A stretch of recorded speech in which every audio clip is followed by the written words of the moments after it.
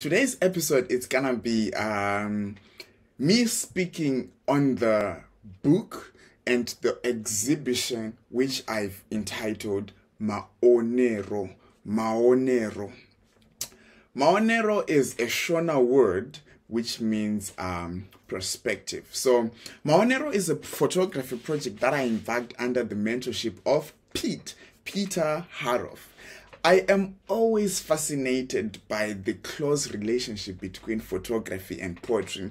And one thing that I've always said over and over again is photography is poetry.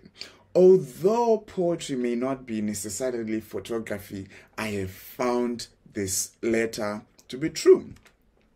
So it was at one point where we were at the studio, and the man, Pete, asked me a question about who I am. And I casually responded and said, Well, um, I'm a photographer and I love poetry.